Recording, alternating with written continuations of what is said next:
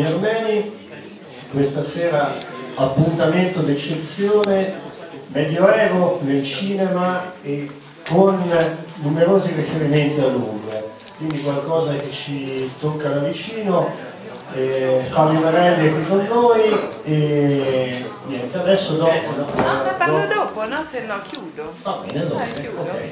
Allora, Fabio Varelli, critico cinematografico, docente di storia del cinema e del cinema all'Università per Stranieri di Perugia e già altre volte ci ha lietato qui in biblioteca, do subito la parola a lui e poi vedremo numerose ispezioni di film per questa serata. Grazie. Grazie Gabriele, buonasera a tutti. L'immagine del Medioevo nel cinema italiano, preferite che stia seduto oppure in piedi? Come tu. Beh, la posso, magari mi metto, come dire, a metà.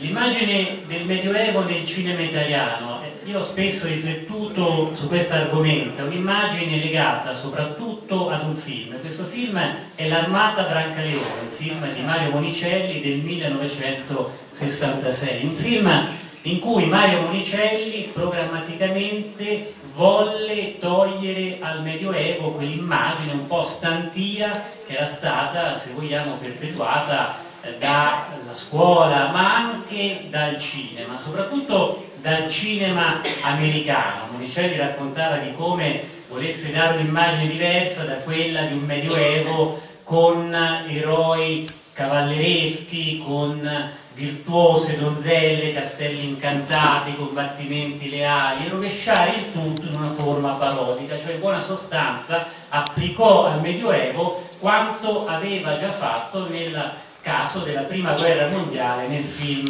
La Grande Guerra. Infatti l'armata Brancaleone per certi versi lo possiamo anche considerare una sorta di soliti ignoti nel Medioevo, no? perché si tratta eh, di una banda raccogliticcia che si propone un obiettivo che non può che fallire, no? un po' quello che succede ai protagonisti dei soliti ignoti. Oltretutto due attori tornano eh, dal cast dei soliti ignoti e sono presenti anche nell'armata Brancaleone e sono naturalmente Vittorio Gasman nel ruolo del protagonista e Carlo Pisacane che era un attore napoletano che doppiato in bolognese da Nico Pepe era stato capannelle nei soliti ignoti e che è Abacuc, gran masso di mercati nell'armata Brancaleone quindi ci sono dei legami tra questi due film. Quindi si trattava in modo quasi programmatico di eh, veicolare un'immagine diversa del Medioevo, molto più realistica e decisamente anticonvenzionale. Anche perché l'immagine che si era creata a livello cinematografico era quella dei grandi film hollywoodiani, di quel grande cinema in Technicolor degli anni 50 che aveva avuto in film come Ivanhoe e i Cavalieri della Tavola Rotonda, entrambi diretti da Richard Thorpe con Robert Taylor nel ruolo del protagonista in entrambi i casi ha avuto appunto i suoi esiti commercialmente più significativi più importanti. Il cinema sfarzoso il cinema appunto che raccontava il Medioevo era sostanzialmente questo di Hollywood. Ma come spesso accade e questo poi nel tempo ho scoperto non è che il film di eh, Monicelli nasca senza avere dei riferimenti eh, pregressi il film di Monicelli nasce comunque in un contesto, quello del cinema italiano, a cavallo degli anni 60, in cui pure è possibile scorgere eh, degli antecedenti. In particolare un film che si intitola i cento cavalieri, ma di questo magari parleremo eh, tra qualche minuto. Prima vorrei tornare un attimo indietro, no? Tornando quindi all'epoca del cinema muto. Io ho cercato di capire quale fosse il primo film italiano di argomento o di ambientazione medievale. Quindi mi sono imbattuto, ecco perché prima eh, facevo quella battuta a Gabriele, mi sono imbattuto in un curiosissimo film del 1907, aspettiamo prima di far vedere l'immagine, un film di 75 metri, quindi appena 3 minuti. Dobbiamo pensare che in quegli anni i film erano piuttosto corti. E due anni prima era stato realizzato il primo film a soggetto ufficiale della storia del cinema italiano che si chiama La presa di Roma, sulla breccia di Porta Pia, un film diretto da Filoteo Alberini, 1905, che era stato considerato un lungometraggio, un film della durata inusitata, un film oltretutto ricco di scene di massa, d'azione, un vero e proprio colossal. E il pubblico si sorprese di quanto durasse. Pensate, durava addirittura 10 minuti. Era questa la misura eh, del lungometraggio in quegli anni di cinema muto. Allora, sono film che oggi potremmo definire cortometraggi, quelli che vengono realizzati in Italia prima del 1910 e tra gli altri film, appunto primo che me risulti di argomentazione medievale, c'è questo curioso, che lo possiamo vedere, abbiamo un'immagine, lo vedete? Il telefono nel Medioevo. Questo è un film del 1907, film diretto da Ernesto Maria Pasquali, ed è un film, come si diceva all'epoca, intanto dura 3 minuti, 75 metri di lunghezza, è un film che come si diceva all'epoca è diviso in quadri, è ancora un cinema primitivo, un cinema di inquadrature fisse, qui ci sono tre quadri, tre inquadrature fisse, in cui il trovatore, che vedete in basso nell'immagine, nel primo quadro fa una serenata ad una donzella affacciata, come vedete, da una finestra, nel secondo quadro cercano di capire com'è possibile instaurare un contatto più diretto e decidono appunto di utilizzare questo tubo. Nel terzo quadro, si tratta di uno short, di un cortometraggio decisamente comico, il padre eh, della donzella, evidentemente infastidito da questo tipo di atteggiamento del trovatore, versa dell'acqua nel tubo e l'acqua finisce nell'orecchio del trovatore. Ecco, questi pochi minuti possono rappresentare una sorta di battesimo eh, dell'argomento. Prima diceva eh, Gabriele che sono molti i film girati in Umbria di argomento medievale. Tra quelli più curiosi, mi è capitato qualche anno fa una benemerita rassegna manifestazione cinematografica di Trieste di vedere un film che si chiama Caterina da Siena. È un film del 1947 di Oreste Palella un cineasta siciliano che credo abbia avuto un forte interesse per la Santa Toscana perché qualche anno dopo fece un altro film su Caterina da Siena che si chiama Io Caterina nel 1955 questo Caterina da Siena 1947, è un film girato interamente a Perugia. Quindi Perugia nel film rappresenta la Siena del tempo di Santa Caterina, si possono vedere degli scorci di Via Maestà delle Volte, ma addirittura anche l'arco etrusco, la sala dei notari, ecco la Rocca Paolina, quindi è un film 1947, un film che andrebbe forse anche recuperato, no? perché no, eventualmente restaurato e messo a disposizione anche di una documentazione di storia cittadina. Il film molto interessante viene in un'epoca in cui il cinema italiano era segnato dalla diffusione delle pellicole neorealiste, ma molto spesso l'interesse del pubblico andava più verso questo tipo di cinema che verso il cinema neorealista che aveva successo soprattutto all'estero, soprattutto un successo di critica, coronato in alcuni casi anche dagli Oscar. Sempre di argomento medievale c'è un film dello stesso anno che si intitola Genoveffa di Brabante, la leggenda aurea di Jacopo di Varazze, un film di Primo Zeglio, in cui i due protagonisti sono Gare e Harriet White. Questi due attori sono i protagonisti rispettivamente dell'episodio romano che lo chiamavano Trinità e continuavano a chiamarlo Trinità, hanno molto preso dalle scene di questo film di Cotta Fabi.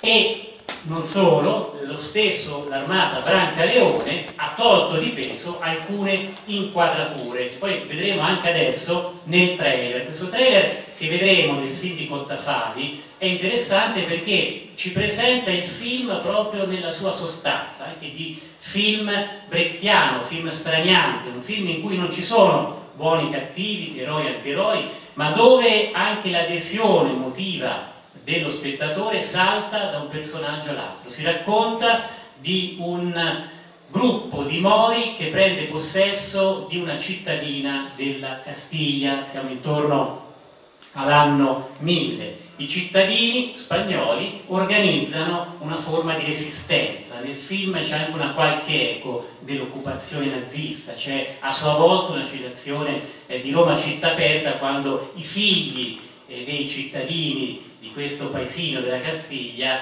eh, decidono di sabotare i nemici, no? un po' come succede nel film Roma città aperta. Ma vediamo eh, questo trailer che meglio credo delle mie parole può darvi l'idea di quanto questo film fosse anche moderno, quanto questo film potesse essere un antecedente diretto del film di Monicelli. Due anni prima, perché siamo nel 1964. Vedremo naturalmente i protagonisti quando puoi partire.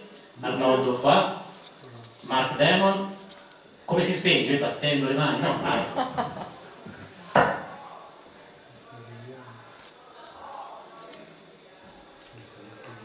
Allora intanto inganniamo l'attesa. Vittorio Cottafari, il regista di questo film, eh, magari riparti sì dall'inizio, il regista di questo film è un regista che dopo l'insuccesso dello stesso eh, si dedicò alla televisione e tra l'altro il regista di due fortunatissime serie televisive della RAI dei primi anni 70, I racconti di Padre Brown, che ricorderete, con Renato Rascher, e A come Andromeda, che era una serie di fantascienza. Allora possiamo vedere lo spezzone.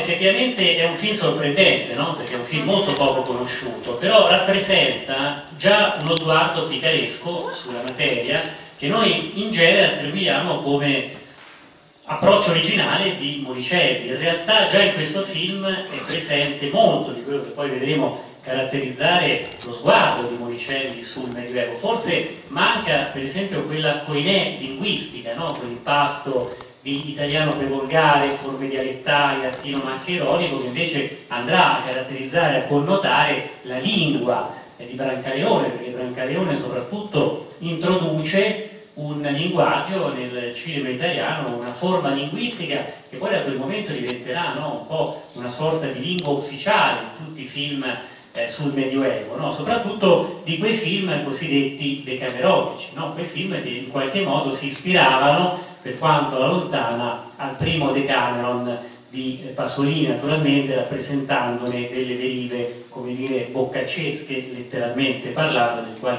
magari poi in seguito eh, parleremo. Per quanto riguarda, noi abbiamo anche l'armata abbiamo anche l'armata Brancaleone, ecco in questo caso vorrei farvi vedere una sequenza interessante perché il film L'armata Brancaleone è un film che ha anche delle location umbre, non solo, perché il film in realtà è stato girato prevalentemente nei dintorni di Roma, eh, in Puglia e in altre località, ma ci sono anche degli ambienti eh, umbri, ecco, in particolare nella sequenza che adesso vediamo eh, abbiamo la cittadina di Arrone, ai piedi della quale si consuma un eh, duello, un torneo cavalleresco eh, che per certi versi appunto viene rappresentato come la parodia eh, di quello che potrebbe essere un torneo cavalleresco che potremmo vedere in un film eh, hollywoodiano, proprio l'inizio del film in cui Vittorio Gasman nel ruolo di Brancaleone eh, perde, ah, e dobbiamo andare avanti forse ancora un po',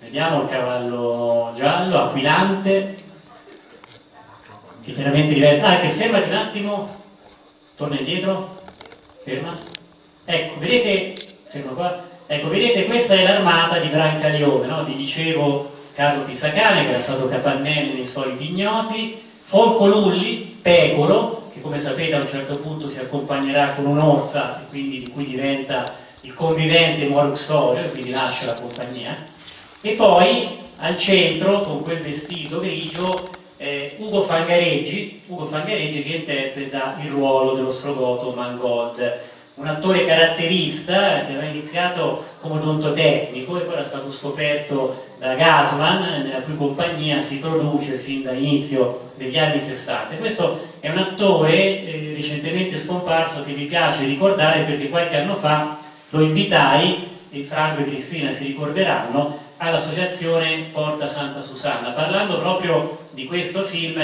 il tema, il titolo di quella conferenza era Re Artù e i Cavalieri della Tavola Calda, questo era il titolo della conferenza che fa pensare un po' all'approccio scherzoso che aveva avuto. Ecco, ora possiamo andare avanti così vediamo questo torneo cavalleresco proprio ai piedi della città di Roma. Da uno grande e nobile cavaliero che ce l'ha detta in punto di morte. Ora noi offriamo a te, cavaliere ardito e senza macchia e senza palanche, l'avventura di prendere possesso del ricco feudo e della rocca di Auro Castro al fatto che tu fai gran giuramento di spartire ogni ricchezza ed ogni bene con tutti noi. Voi sapete chi io sia? No, Avrete sentito, suppongo, lo nome di Groppone da Figulle. Mai coperto.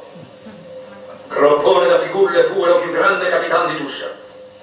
E io sono colui che con un sol colpo d'ascia lo tagliò in due. Lo mio nome, stai attenti, lo mio nome est Brancaleone da Norcia. Ulrico, signore di queste terre, fa offerta allo vincitore di questo torneo della nomina a Gran Capitano d'Arme, nonché della mano di sua figlia Lucrezia. Fate conto che Brancaleone da Norcia ave già in pugno la nomina e ricco matrimonio. Quindi sgombrate, uomini da poco, voi e lo vostro misero feudo pugliese. vigneti, bestiame, e mare pescoso, da facile a mezzo. Ed inoltre, ponilo bene a mente, vecchio. Brancaleone da Norcia non fece mai a mezzo con nessuno. Ma la bestia!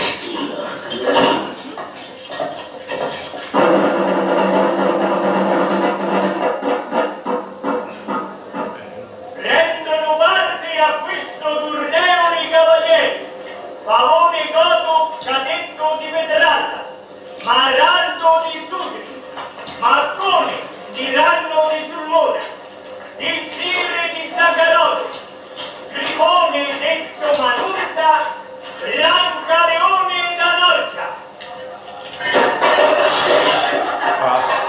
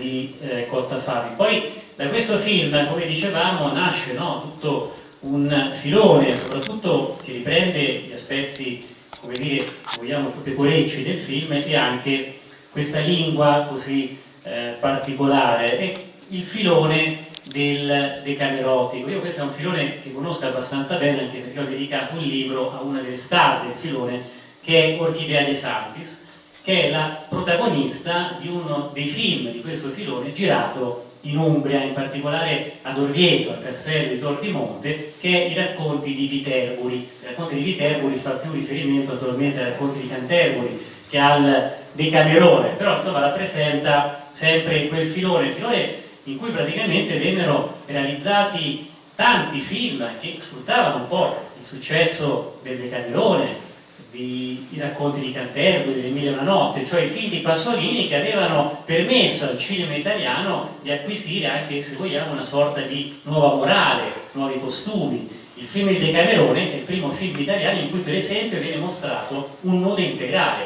Passa, eh, passa attraverso la censura perché ho anche dei documenti, perché il film, pur contenendo appunto situazioni che lo rendono necessariamente vietate a 18 anni, è un film che ha avuto un tale successo internazionale, premiato a Berlino, eccetera, che comunque la censura non può opporsi a che il film, e allora tutti gli altri si buttano appunto su questo filone aperto da Pasolini, naturalmente cogliendo negli aspetti, eh, se vogliamo, più pecorecci o decisamente osceni. Tanto che, come ho raccontato anche in passato, c'è un regista eh, geniale, un artigiano come Aristide Massaccesi, Gio D'Amato, che mette insieme tutti questi film per chiamare chiaramente eh, gente al botteghino e realizza le mille e una notte del Boccaccio a Canterbury. Quindi praticamente mette insieme eh, tutti questi film. E oltretutto siccome probabilmente sembrava che il potere letterario non fosse abbastanza forte nel film tra i personaggi c'è addirittura inopinatamente Dante Alighieri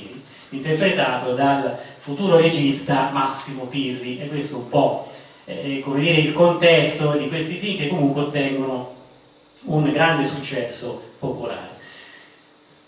Oggi vorrei parlarvi anche dei film su San Francesco d'Assisi. Ecco, qui abbiamo una ricchissima uh, filmografia, addirittura abbiamo una trilogia all'epoca del cinema muto, tre film, il primo addirittura del 1911, Il poverello di Assisi di Enrico Guazzoni, con Emilio Ghione, che è stato un interprete molto importante del muto, il protagonista del serial di Zara Mo, I topi grigi, la Pace metropolitano a Parigi, e poi eh, eh, nel ruolo di eh, Santa Chiara Italia Almirante Manzini, che, era, che poi sarà qualche anno dopo Sofonisba in Caviria, quindi insomma un cast anche importante. Questo film ha la particolarità di essere girato ad Assisi, quindi abbiamo proprio l'Assisi, gli esterni di Assisi del 1911. A questo primo film, Il poverello di Assisi, che possiamo considerare una sorta di proto eh, film realista, seguono poi un altro film del 1918, Frate Sole, quindi del 27,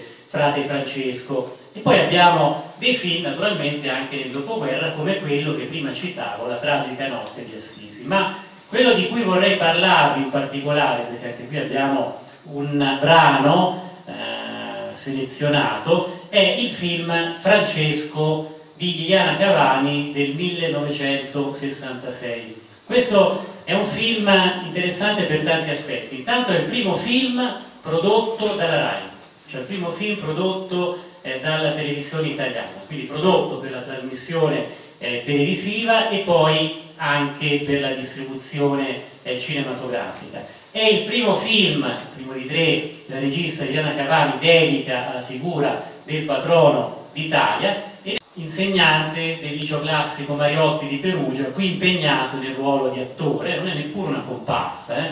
e poi magari eh, qualcuno lo riconoscerà, impegnato nel ruolo dello scrivano del Papa. Ecco, e poi, esatto, Franco Bozzi, Franco Bozzi marchigiano di origine ma perugino a tutti gli effetti che qui vediamo giovanissimo 51 anni fa eh, nel ruolo dello scrivano del Papa. E poi? questa è una roba eh, questa è roba forte sì.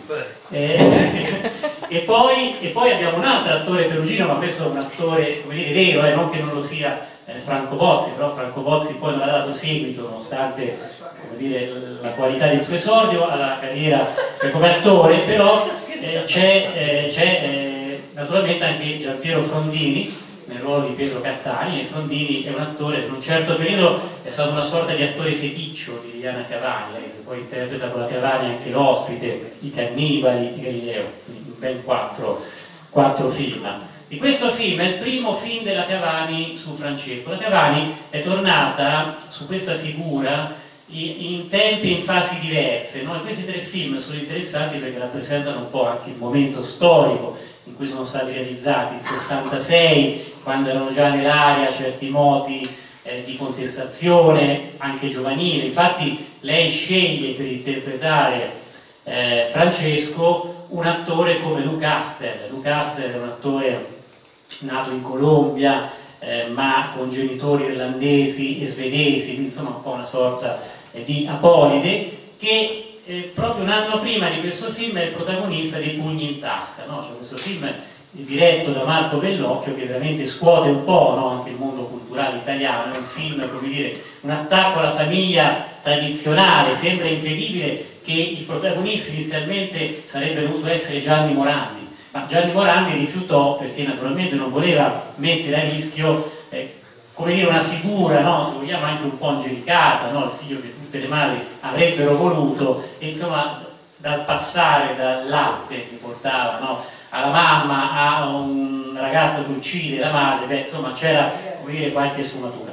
E quindi il protagonista eh, del film è questo Lucaster che eh, viene scelto anche dalla Cavani, perché la Cavani vuole in qualche modo anche attualizzare eh, San Francesco, quello che noi vedremo adesso in questa sequenza proprio anche questo tentativo di attualizzazione eh, della figura di Francesco, ma eh, la scelta di questo protagonista fu talmente sofferta e difficile che quando lei lo portò al capo struttura della RAI che si occupava di questo film, che era Angelo Guglielmi, eh, Angelo Guglielmi disse ma se sei convinta però quando esci dal mio ufficio non farti vedere da nessuno, perché se qualcuno scopre che tu hai preso questo attore per fare San Francesco, il patrono d'Italia, potremmo avere dei guai. Infatti, quando il film venne trasmesso in quello stesso 1966 in RAI, ci fu un'interrogazione parlamentare di un eh, deputato del Movimento Sociale che naturalmente protestava perché non riteneva che Lucaster, no, questo volto insomma, così particolare, ma non certo no, eh, adatto all'unzante, almeno a livello iconografico, riteneva che Lucaster non potesse interpretare eh, San Francesco. Allora la sequenza che adesso vediamo è la sequenza in cui i frati, con Francesco in testa, si recano da Papa Innocenzo III interpretato da Kenneth Belton e vediamo proprio all'opera, vediamo se riusciamo proprio a prendere il momento esatto in cui vediamo, eccolo qua, ecco, vedete già Franco Bozzi in azione, dove? Del Papa, adesso avrà anche dei primi piani, eh? quindi insomma... Sono gli scandali del clero che alimentano le critiche e quindi le eresie, provvedi. Punisci i colpevoli Punisci tutti i preti indegni. Punisci quelli che vanno nelle taverne. Quelli che giocano ai dadi. Quelli che mantengono concubine e bastardi. Quelli che si fanno pagare per le sacre funzioni. Bisogna estirpare al più presto questi cancri dal corpo della Chiesa, eccetera, eccetera. Che altro c'è? La richiesta dei penitenti di Assisi. Legge. Questa è la regola di vita secondo il Vangelo che io, Francesco di Assisi, domando venga approvata dal Signor nostro il Papa Innocenzo. I penitenti di Assisi devono vivere in obbedienza e castità, senza nulla di proprio, secondo l'insegnamento di Gesù, il quale dice va, vendi quello che hai e dai ai poveri. Non prendere per via né oro, né argento, né bisaccia, né due tuniche, né sandali penitenti devono vivere lavorando con le proprie mani, non siano padroni. Sì, tutto chiaro, le solite cose. È un pretesto, cose pericolose, cose che abbiamo già sentito dagli umiliati, dai buoni cattolici, dai patarini e così via, tutti eretici. E Valdo? Lo dimenticate Pietro Valdo? Aveva cominciato anche lui così, ma presto lasciò la predica utile. Passò alla critica e alla ribellione e si dovette scomunicare. E tra i valdesi perlomeno chi predica è mantenuto da chi lavora. Ma questi qua vogliono addirittura fare le due cose insieme. Ascoltate, è più di un mese che osservo questi penitenti di Assisi. Posso garantire che riescono a lavorare e a predicare, che non c'è in loro nessun segno di ribellione alla Chiesa. Sì, sì, ma, ma dobbiamo essere assai prudenti. Siamo come in una fortezza assediata da ogni lato. L'imperatore, le fazioni comunali, le eresie, Ciò che altri ci hanno detto di questi penitenti ci pare molto sospetto. Troppe eresie sono incominciate in questo modo. Tuttavia, poiché tu mostri di avere in loro molta fiducia, possiamo esaminarli. Nonostante le apparenze, fra di loro ci sono illustri avvocati, ci sono nobili, mercanti. Fateli ritrarre.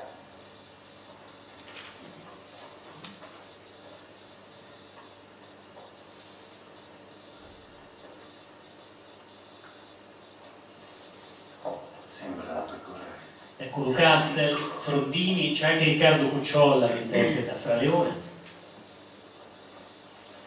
Tra l'altro abbiamo individuato con Gabriele anche la chiesa no? in cui si svolge questa sequenza che è San Masseo, giusto? Nei dintorni del Subasi. Si faccia avanti il postulante.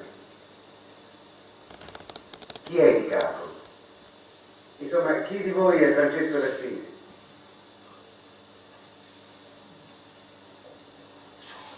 Coraggio.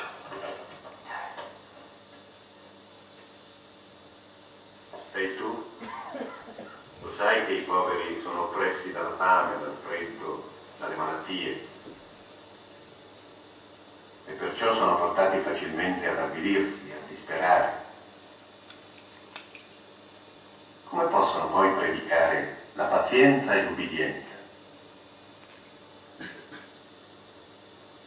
La Chiesa possiede già un corpo di Da dottori. cui possiamo venerati. Fermarci perché poi abbiamo anche altri su questo primo piano di, di Lucaster. No, come avete visto questo è un film che ha una fotografia molto sporca, no? Una- un approccio anche estremamente realistico al periodo, la fotografia di Giuseppe Ruzzolini. Beh, pensate quanto è lontana invece la scelta anche estetica, stilistica di eh, Franco Zeffirelli, che qualche anno dopo realizzerà anche lui un film su San Francesco che è eh, Fratello Sole Sorella Luna, con l'attore Graham Faulkner, e realizzerà un film che proprio è l'antitesi di questo di Liliana Cavani, che poi tornerà ben due volte a raccontare in termini visivi eh, San Francesco, una prima volta nel 1989 con il film Francesco, anche questo lo stesso titolo, interpretato da Mickey Rourke, che qualcuno di voi in sala ricorda no? durante lo svolgimento delle riprese, eh, un film in cui l'Assisi dell'epoca di Francesco venne, come sappiamo, ricreata all'interno della Rocca Paolina.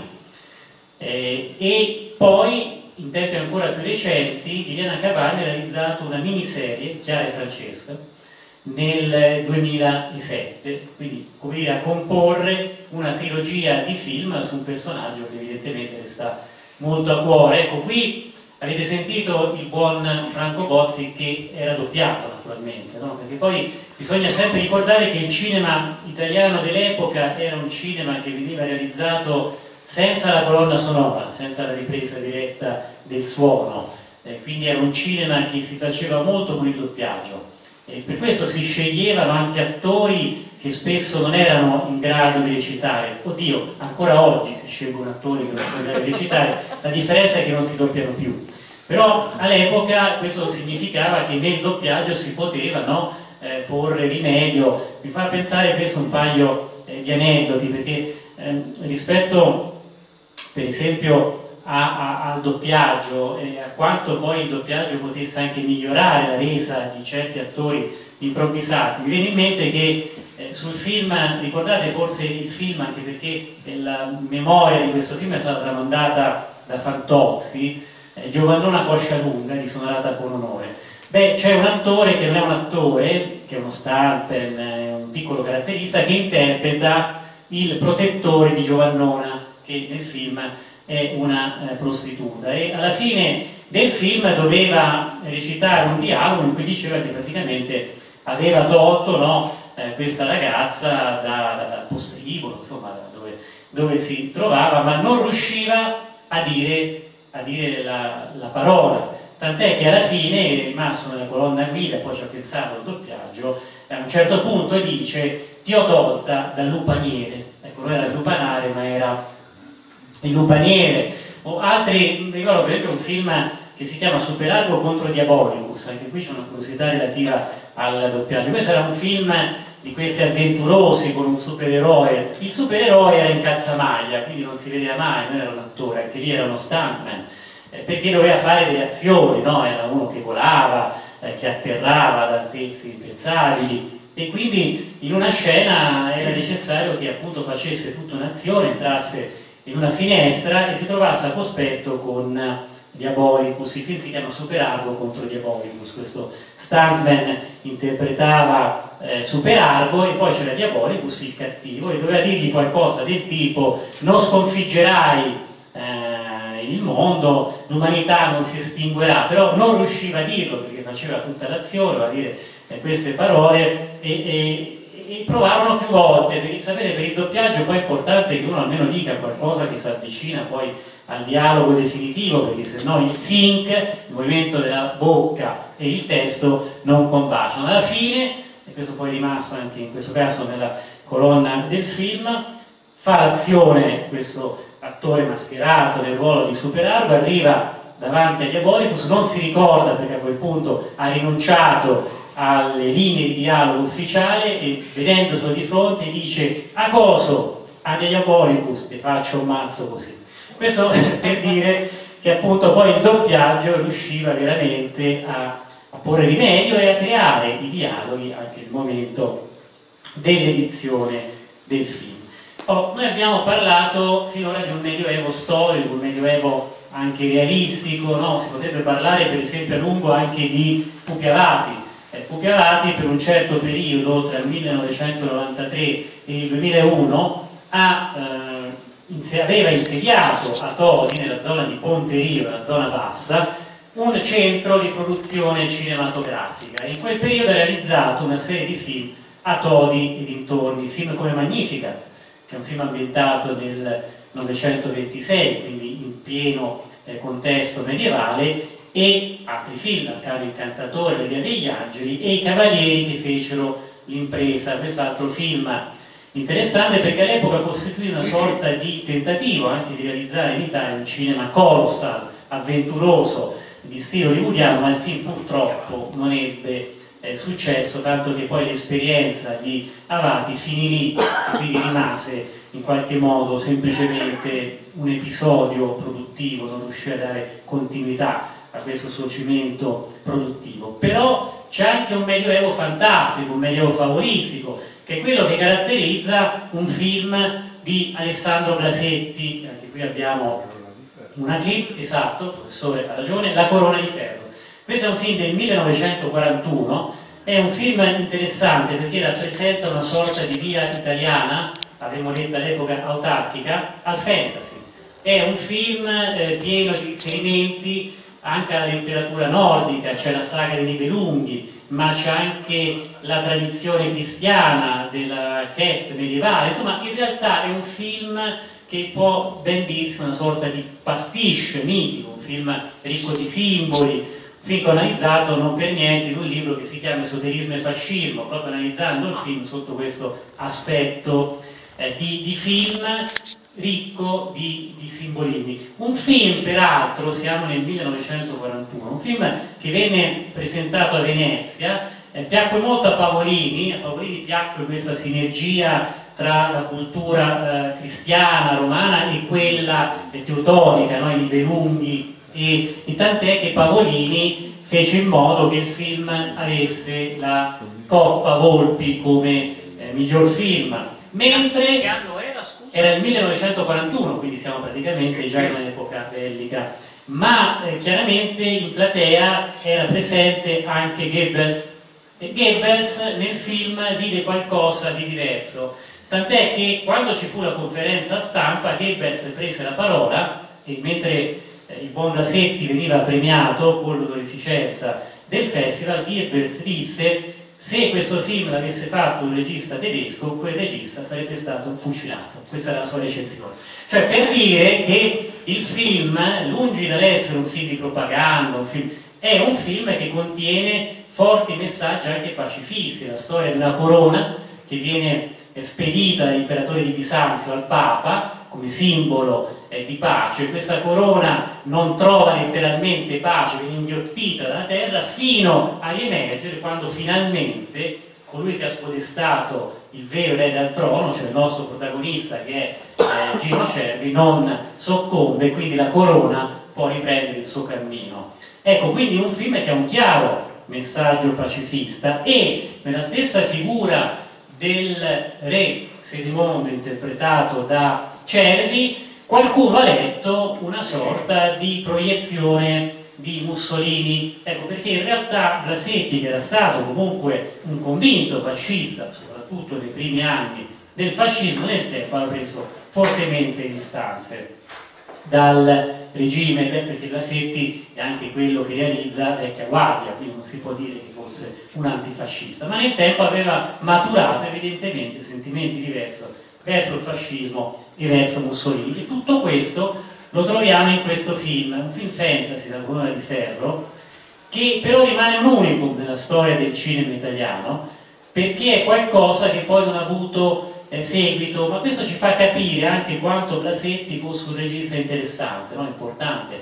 Blasetti è per esempio quello che con i film Altri tempi e tempi nostri inventa il cinema di episodi.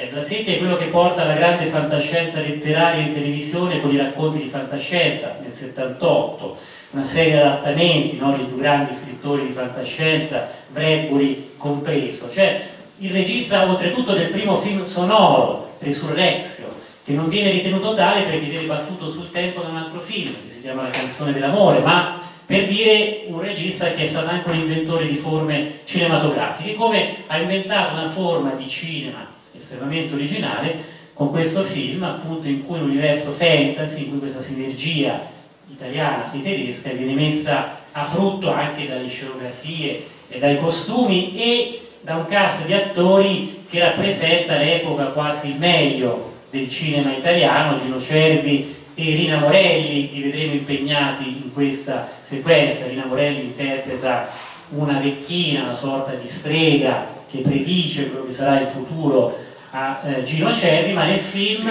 ci sono anche Massimo Girotti eh, nel ruolo di Arminio che eh, fa una sorta di Tarzan, e questo cioè con un gonnellino si muove per tutto il film, fa capire quanto il film sia polisemico, no? anticipi per esempio lo sfruttamento polisemico che verrà fatto, non so, di maciste, no? a un certo punto incontra anche Zorro. Allora in questo contesto di fantasy medievale, liberungico, cristiano, troviamo appunto anche un Tarzan interpretato da Massimo Girotti. Poi ci sono i ruoli anch'essi importanti Osvaldo Valenti, che naturalmente eh, all'epoca faceva sempre il cattivo, e, Luisa Ferida, che invece qui interpreta la guerriera Tundra, che è quella che in qualche modo, e qui c'è l'elemento anche no, un po' eh, germanico, è quella che sopravvive mentre la esangue, un po' vampiresca, Elisa Cegani soccomberà. Quindi questo è un film molto interessante ancora oggi da analizzare, da considerare alla luce di quello che poi era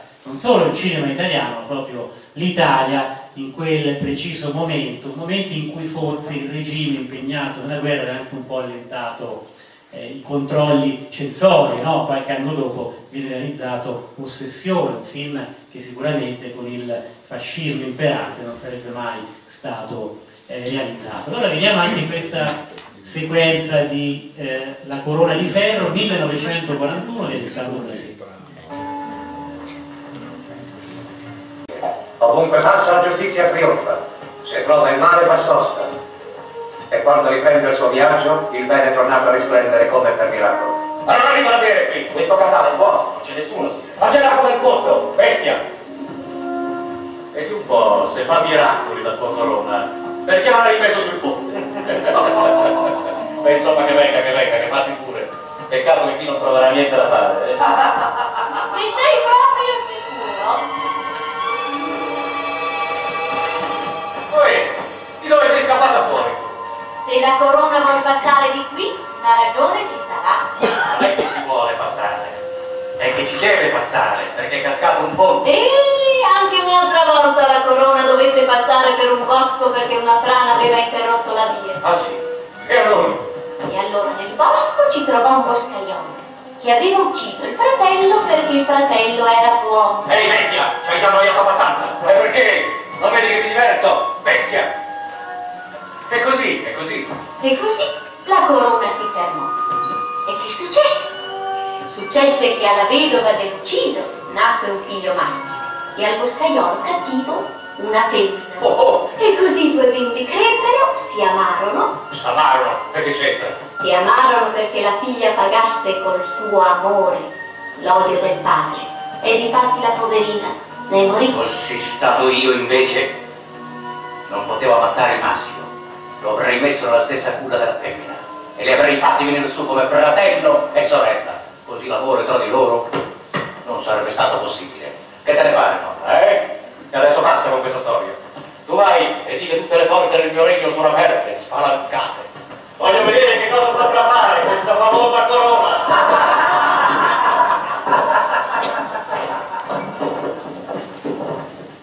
Vengo da Tinto Ecco, allora, per annunciare che a Re è nato una femmina e a suo fratello un maschio. Stiamo praticamente arrivando all'ora di eh, esposizione. A questo punto voglio, dopo aver visto anche la corona di ferro, voglio chiudere mh, con una sorta di omaggio anche ad un lavoro che abbiamo fatto qualche tempo fa, quindi parlando di Carosello, perché indubbiamente l'immagine del Medioevo, insomma, la nostra cultura transita, è transitata anche attraverso Carosello. Non so se voi vi ricordate un eh, carosello di ambientazione medievale, un carosello animato, è il carosello della Pavesi, eh, di Re Artù, esatto, l'ancillotto. E l'ancillotto, questo è un carosello, tra l'altro, uno come mai non siamo in otto perché manca l'ancillotto, poi succede un 48, arriva l'ancillotto. Questo carosello è uno dei più longevi perché viene realizzato tra il 65 e il 75 da Marco Biassoni, che è un animatore importante italiano, e si alternano poi nel lavoro su questa serie addirittura Giuseppe Laganà e Osvaldo Cavandoli, il creatore della linea, quella che era la testimonia delle pentole eh, l'Agostina, che tu avrai sicuramente, eh, vedo che annuisci. E quindi è una serie molto, molto come dire, eh, vista, no? che ha passato anche generazioni eh, diverse, per esempio la mia era tua, no? passa qualche anno, quindi. E allora vediamo, proprio perché no, il carosello si vede in qualche modo prima di andare a nanna, come si diceva, vediamo questo carosello di eh, il numero 20, forse ci arriviamo, questo carosello della Paresi eh, dei cavalieri della tavola rotonda.